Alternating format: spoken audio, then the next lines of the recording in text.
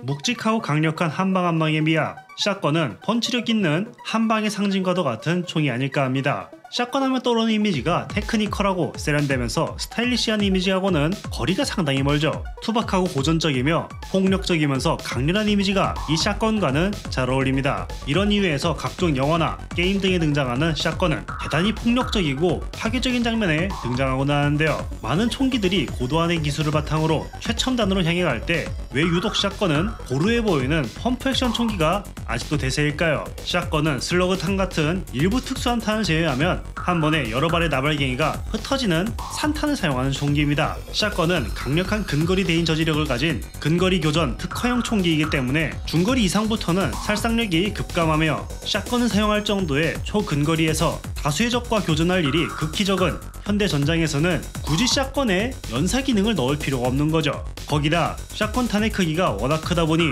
장탄수에도 한계가 있고 연사에 적합하지 않아 작동 불량에 걸리는 상황이 자주 벌어지는 것도 한몫합니다. 유지보수 측면에서도 펌프 액션이 더 낮고 가격도 저렴하니 말이죠. 하지만 그럼에도 세상에는 샷건계의 이다나 자동 샷건도 있습니다. 이번 시간에는 대세를 따르지 않는 자동 샷건들을 소개해 보겠습니다.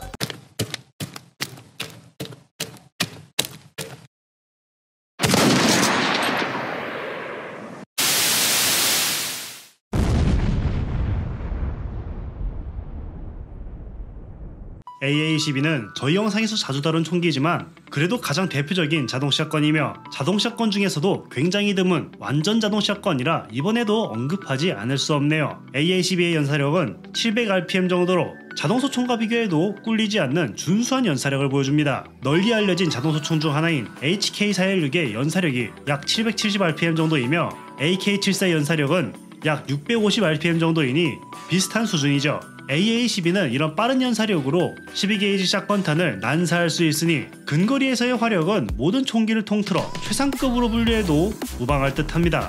영상을 시작하면서 두껍고 큰 샷건탄 때문에 자동 샷건은 장탄수에서 한계가 있다고 했었는데 당연히 AA12 역시 이 문제에서 자유로울 수 없겠죠. 이런 이유에서 일반적으로 사용하는 박스형 탄창의 경우에는 고작 8발의 장탄수밖에 되지 않습니다. 일반적인 펌프 액션 샷건의 관형 탄창의 장탄수가 보통 8발 정도이니 다른 펌프 액션 샷건과 비교해도 우위를 가지기 힘들었을 텐데요. AA12는 이런 장탄수 이슈를 드럼 탄창을 사용하여 해결하려 했습니다. AA12용 드럼 탄창의 장탄수는 무려 32발인데요. 이 정도면 자동 소총의 장탄수와 비교해도 비슷하거나 약간 우세한 정도로 많은 장탄수를 확보할 수 있습니다. 참고로 이보다 장탄수가 적은 20발짜리 드럼 탄창도 있습니다. 아무튼 드럼 탄창에는 여러 가지 단점이 있는데요. 바로 탄창 자체의 무게가 상당하다는 점입니다. 실제로도 AA12의 드럼 탄창의 무게는 무려 2kg이 넘는 엄청난 무게를 자랑합니다. 기관 단총의 상징과도 같은 MP5의 단축형 버전인 MP5K의 무게가 거의 2kg 정도입니다. 탄창 하나가 MP5K와 무게가 맞먹는 거죠. 안 그래도 총기의 무게가 5kg이 조금 넘는 5.2kg인데 32발 드럼 탄창까지 장착하면 무려 7.3kg에 달하는 엄청난 무게를 가지게 됩니다. 그야말로 비상식적이고 규격 외의 샷건인 것이죠.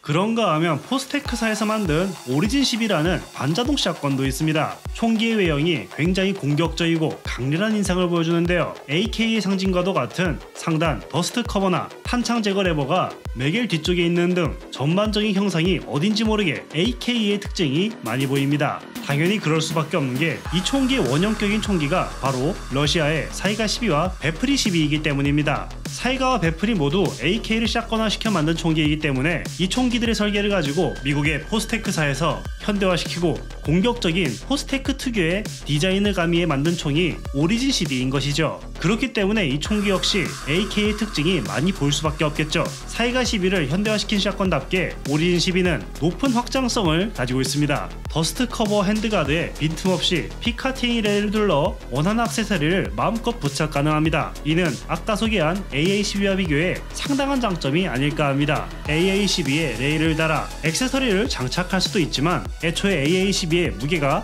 워낙 무거워서 액세서리까지 주렁주렁 달면 정말 사용하기 버거운데 이 Origin 12는 AA12와 비교하면 좀 더 가벼운 편에 속합니다. AA12의 무게는 5.2kg, 오리진 12의 무게는 4.2kg인데 고작 1kg밖에 차이 안 나는데 무슨 호들갑이냐 하실 수 있지만 개인 화기에서 1kg 차이면 꽤나 큰 차이입니다. dot sight와 전술 라이트 그리고 전방 손잡이까지 주렁주렁 달아도 1kg 언저리니까요.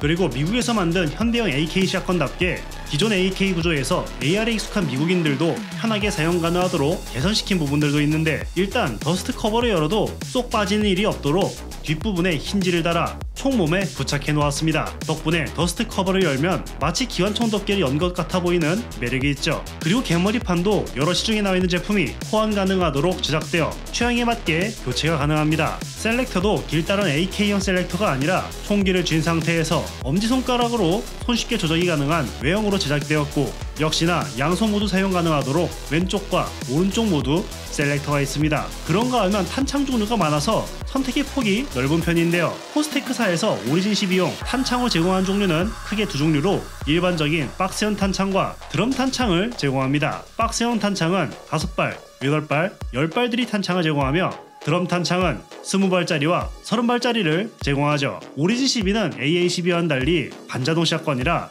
연사력을 논하는 것이 조금 이상하긴 하지만 빠르게 난사를 하면 AA12와 비슷한 수준의 연사력을 보여준다 하네요. 아무래도 샷건에서 완전 자동 사격이 크게 의미 없기도 하고 조금 더 가벼운 무게의 높은 확장성과 AK 기반인 점 등등 다양한 면에서 고려했을 때 AA12보다는 오리진 12 쪽이 조금 더 나은 선택이 아닐까 합니다.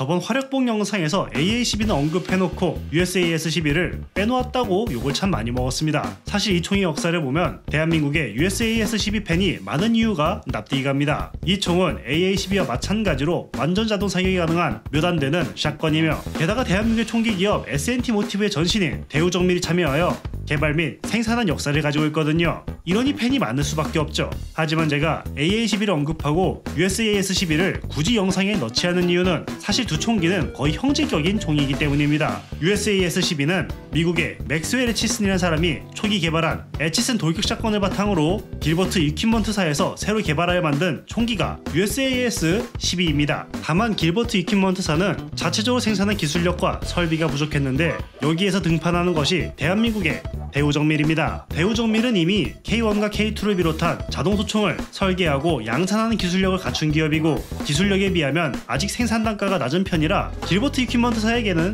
좋은 파트너가 아닐 수 없었겠죠. 대우 정밀은 길버트 이퀴먼트사의 설계를 양산에 걸맞게 변경하여 설계를 완성시켰고 그 설계를 바탕으로 생산에 돌입합니다. 그런 두 회사의 파트너십에 의해 탄생한 총이 바로 USAS-12인 거죠. 아까 USAS-12와 AA12가 형제격인 총이고 USAS-12의 설계가 Atchisson 돌격 shotgun을 기반에 두고 있다 말씀드렸는데 AA12의 AA가 바로 Atchisson assault shotgun의 약자입니다. 이 Atchisson 돌격 shotgun은 1972년에 개발되었으나 양산에는 실패한 자동 shotgun인데 지금 생산되고 있는 AA12는 미국의 Military Police System사에서 Atchisson 돌격 shotgun에 특허를 사들여 만든 총입니다. 실제로 두 총은 구조도 굉장히 유사해서 생김새가 묘하게 닮아 있는 데다가 스펙도 거의 비슷합니다. USAS-12의 무게는 5.5kg으로 AA-12와 거의 비슷하지만 조금 더 무거운 수준이네요. 여태껏 소개한 총들이 다 거기서 거기고 비슷해 보였다면 기분 탓이 아닙니다. 사실 이런 자동 shotgun이 몇 없기도 하고 다 비슷하거든요. 그렇다면 이번엔 조금 신박한 리볼버 shotgun을 소개해 보겠습니다. 리볼버와 shotgun 굉장히 이색적인 조합이긴 하지만 맘먹고 찾아보면 몇 있기는 합니다. Armsel Striker와 같은 리볼버 shotgun은 꽤나 유명한 편에 속하죠. 지금 소개하는 612 역시 그저 평범한 리볼버 shotgun으로 보입니다. 특이점이라면 AR 하단에 장착하여 door breaching용 shotgun으로 사용된다는 점 같은데 모듈식 설계로 짧은 배럴 소총이 장착할 때는 짧은 barrel로 사용이 가능하며 긴 배럴 소총이 장착할 때는 긴 barrel로 갈아 껴서 사용이 가능하고 장탄수는 6발들이 실린더를 사용하기 때문에 6발의 장탄수를 가지고 있는데 door breaching용으로 생각한다면 나름 준수한 장탄수를 가지고 있습니다. 한 가지 재미있는 점은 아예 실린더를 탈부착이 가능해서 무거운 무게와 부피를 감수할 수 있다면 여러 개의 장전의 실린더를 가지고 다녀서 탄창처럼 사용 가능하죠. 하지만 이 총의 가장 재미있는 점은 door breaching용으로 AR에 부착하여 사용 가능한 것뿐만 아니라 이렇게 몇 가지 부품을 추가로 끼워서 독립적으로 활용 가능한 bullpup식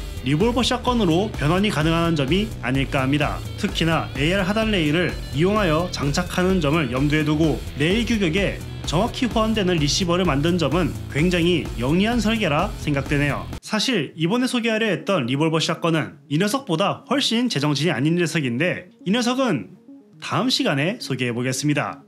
이번 영상은 여기까지고요. 시청해주셔서 대단히 고맙습니다.